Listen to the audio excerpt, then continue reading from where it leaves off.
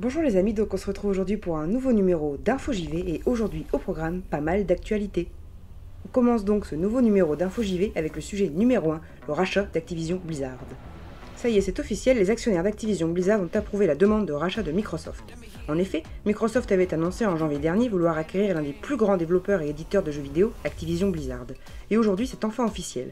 En effet, plus de 98% des actionnaires ont voté en faveur de ce rachat.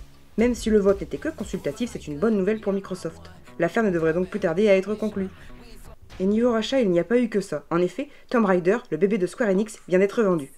Crystal Dynamics et Eidos Montréal, les créateurs de Tomb Raider, ont été rachetés et n'appartiennent donc plus à Square Enix.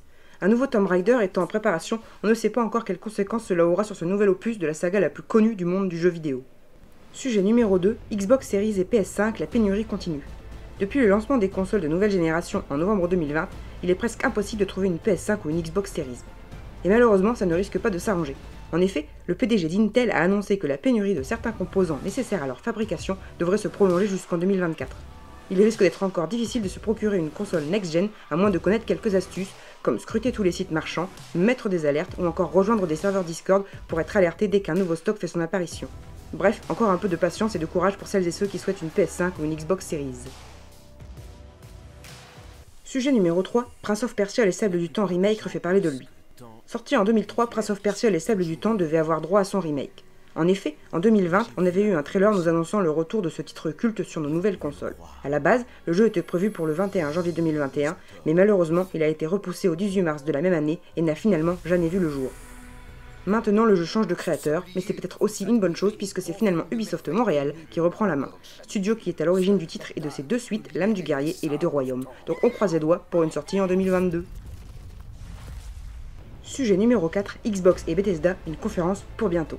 Pour l'instant, la durée de l'événement n'est pas encore connue, mais si vous voulez en apprendre un peu plus sur les jeux d'Xbox, réservez la date du 12 juin 2022 à 19h pour le Xbox et Bethesda Game Showcase des nouvelles de Starfield, Hellblade 2 et j'en passe. Dans mon cas, j'attends surtout du nouveau pour Fable 4, Indiana Jones, Everwild ou encore Avowed.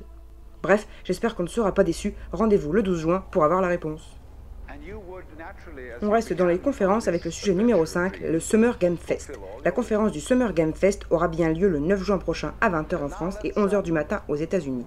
Des annonces de jeux en cours de production, des nouvelles informations pour des jeux déjà annoncés, bref, on attend du lourd.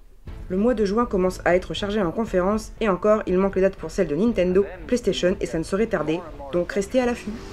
C'est tout pour ce numéro d'Info JV. N'hésitez pas à me dire ce que vous pensez de telle ou telle news dans les commentaires. Donc c'est la fin de ce numéro d'Info JV. J'espère que cette vidéo vous aura plu. Si c'est le cas, n'hésitez pas à liker, à commenter, à partager la vidéo et à vous abonner à la chaîne. Et moi je vous dis à bientôt pour une prochaine vidéo. Salut